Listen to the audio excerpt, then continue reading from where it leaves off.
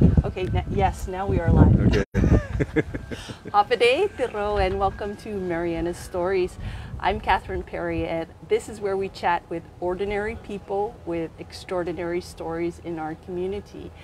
Our guest today is one of the many workers that help support our Mariana's tourism industry and he has over four decades, I thought it was three decades, but it's four decades of uh, service in the food and beverage industry. Arnel, better known as Neil Metran.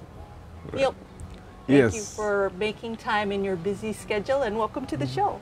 Thank you, Kat. Thank you. I was really surprised when you told me that we will be doing this. I said, wow, it's an opportunity to share uh, the knowledge and uh, what I have learned in hospitality to you know the to the, the CNMI people and the youth especially. I think a lot of people will recognize your face because you've worked at Hyatt and now here at the lovely Aqua Resort for three years. But how did you get started in the food and beverage industry? Well, I started food and beverage industry or, or hospitality since I was in college, and that was 1983. Back to those years, and then I was at the Hyatt Regency Baguio those days, the Wow. most beautiful hotel in the Philippines before. Okay. That was uh, Hyatt Regency Baguio. And the make me more interested here is you met a lot of people that you don't easily met normally in your life, but in hotel industry you can see them just right there and then. Most especially those president in the Philippines that I met before Wow. starting with uh, President Ferdinand Marcos, then followed by Corazon Aquino, Fidel V. Ramos, uh, Joseph Estrada. I met all of them, and it's a good opportunity that we we uh, in Hyatt we serve them as well. So those those that's the that's the time that I started my hotel life in the industry. Now, you didn't actually study this in college. This is not what you were planning to do. What did you study and why did you decide to pursue this field?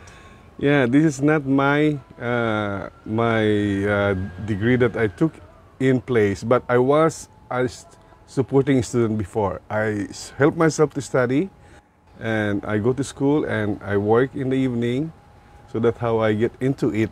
And I was a civil engineering student those days. Civil engineer. Right. Okay. it's funny, right? so, how did you end up in, in Saipan? You Well- came here 30 years ago, actually. that's correct. Yeah. How did you end up here? Well, uh, some agencies in Philippines before when I'm uh, seeking a job abroad and I see Saipan on advertisements, so I go to that agency and apply for it. And I was lucky enough to uh, uh, selected to be coming over in Saipan, uh, 1991. That's March 8. I remember the date. Yeah. Was it what you expected before you came when you finally got here? When I come here, because my uh, flight is from Manila to Guam, then Guam to Saipan.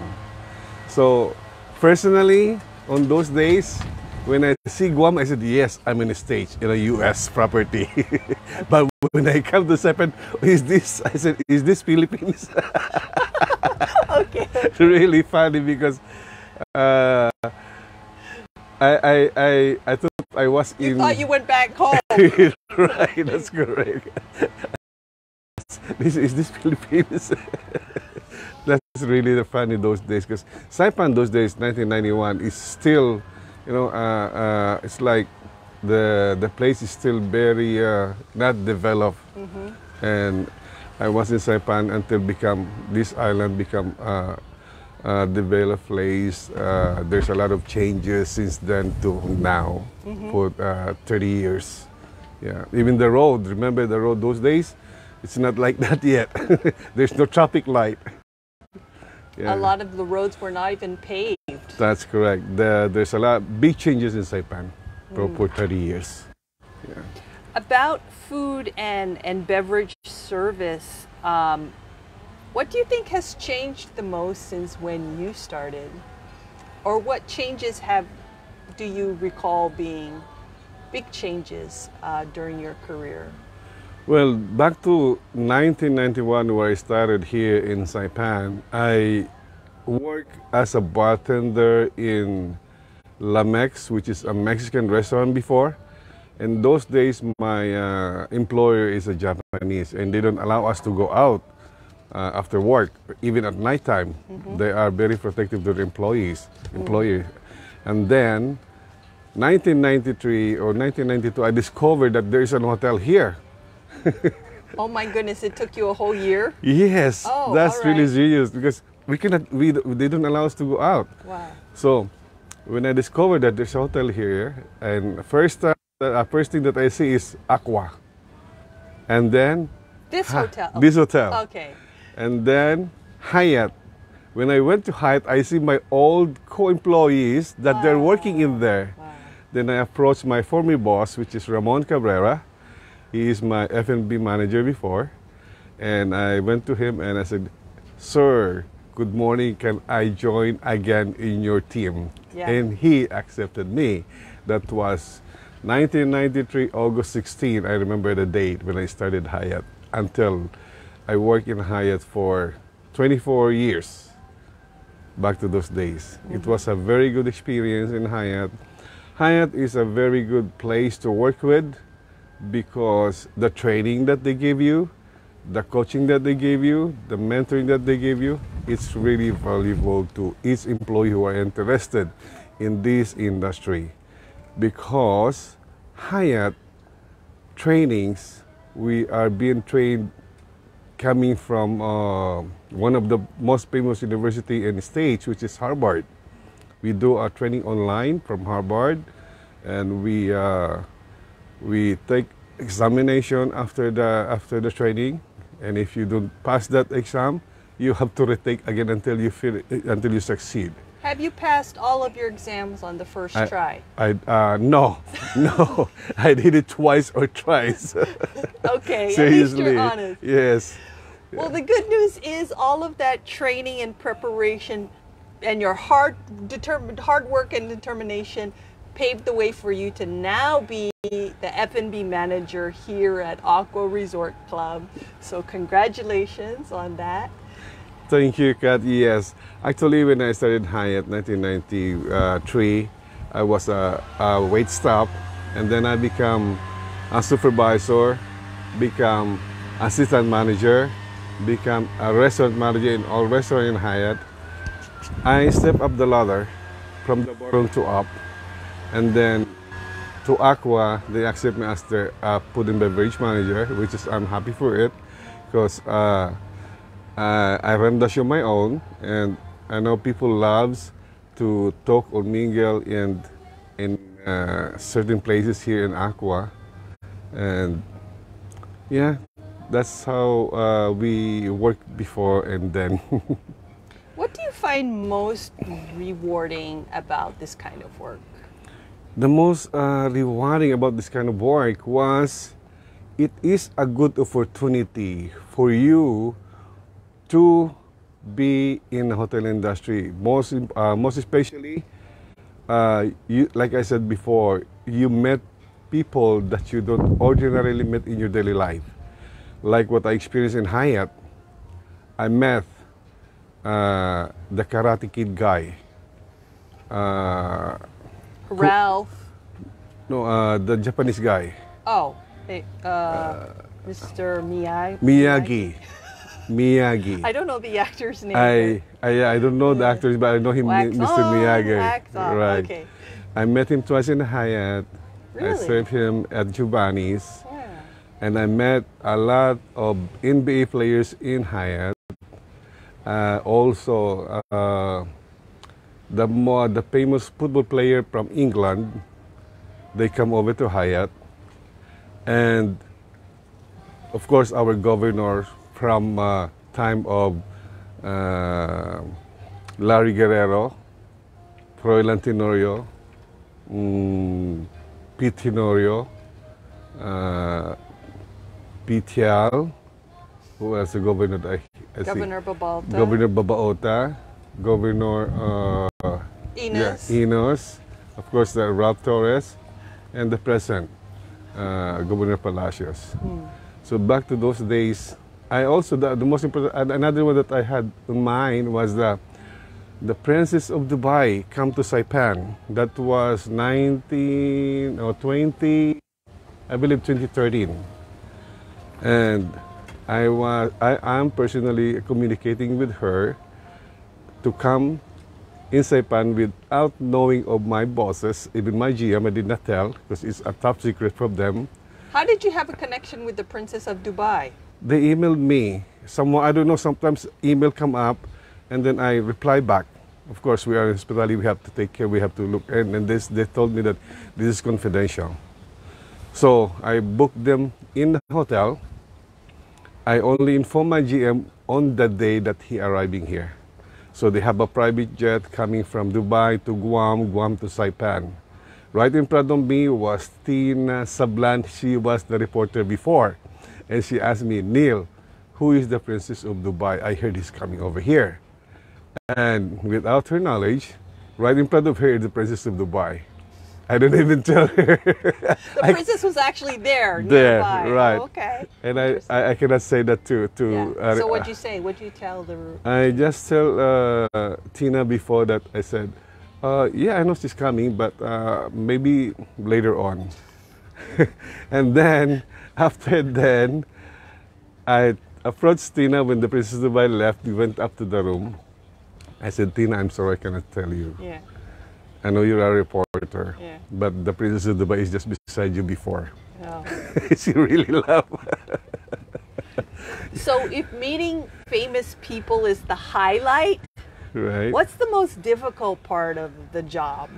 You know, because there's long hours, I right? know. You got to wake up early or go to Mhm. bed late. Right. Weekends, holidays. The most difficult thing on this job is once there's a complaint, one once there is a guest fighting together, you never know what being being uh, they're agreeing at, and then you have to go in and make them come and make them, you know, uh, talk to each other nicely. Have you ever had to break up a fight I did, more than once? yes. How do you handle that? That's my secret how to handle it. What's your secret? Smile, give them a, give them your nice smile. okay, okay. Yeah, I experienced that in Hyatt when I was in Hyatt. And both guests are really, you know, in argument. And they approached me. And uh, those days, one of my assistant managers said, Mr. Neil, I see you, your face is really red, but you're still smiling. And you make those guests come down. Oh, Yes, I did that for Okay. real. So uh, I said the only secret thing in this uh, uh, career as hotelier, be patience. Make sure that you have that much long patience. And patience. okay. yes, and uh, just act normal. Smile so you don't get old. Right. Right. So patience is an important quality That's correct. for people. After like 40 years working at a job, um, it's very possible that like you actually become like the job or whatever you have to do. I mean, that's a lot of hours in your life you do this work. How do you think this work has developed you or impacted you as a person? The first thing I did is I have to get my wife's yes that I am committed because I'm happy doing on my uh, on, on my on my job. So eh, when my wife says yes, then I say thank you. Then they need to understand your partner need to understand, need to support you on how is your work hours. No questions asked as long as in your job rather than go somewhere else and drink and whatever that you can do uh, um, not good. So, yeah, when I get her answer, yes, I thank her because she supported me and uh, being in the situation of long hours every day. I used to it already. Like like I wake up five o'clock or six o'clock, come to work, and then go home like twelve o'clock in the midnight, Wow. or sometimes eleven. Yeah. The, our hours is no uh, no limitation, as long for me as long as the event is done in a nice uh, uh, in a nice uh, handling and there's no complaint i i feel very uh, happy especially if i see the engager are happy. And the most important thing they spread the word go to this place they'll take care of you. Mm-hmm. And they're coming back mm-hmm. to do the another event mm-hmm. which is very good for the for the company that we're working with. Mm. You make me think, um, you know, you guys are here, you um, are here to like make it easy for the people who want to come and avail of the food and the drink and the services that you provide. What advice would you give to people, for example, who want to have a banquet or who come to the restaurant to also work with you? Because you're trying so hard to work with us. what are like the top one or two pet peeves you have or requests you have? This is the time to let us know, like, guys, help me out. What, Yeah. what would you say? What would you ask? What that, that's, it's just like uh, some of the politicians here in Saipan, they observe me here in Aqua when I am hiring most of the students. We have all the students from the Northern, Northern Mariana Islands, uh, Northern Mariana College, plus we have the students from uh, Mariana Science School. I am giving them a chance to learn and prepare themselves on how they become a good and better man bef- uh, after when they get old or to the age of their adults already. I am sharing them my experience because I was a working student before and I would like them to know and learn from there. And when they reach to the top, pitch your feet on the ground. Do not you know, step up that you're already up there and you look like somebody. No. I said, no, don't do that. That's not correct. And I really love students working with me because they are easy people to follow your rules. They are very easy to handle and guide them. Because they don't haven't learned any bad habits yet. Correct. So yeah, yeah. Correct. You get to But- teach them all right. the right way. Besides from that, once they uh, learn it and you non-stop coaching, mentoring them, telling them whatever, even, even a simple mistake, tap them on the back, bring them on the other side, which nobody can see you, and give him the right way, uh, how it should be done. But do not do not embarrass them in front of everybody, even the, your coworkers. But bring them somewhere else, which nobody can see you.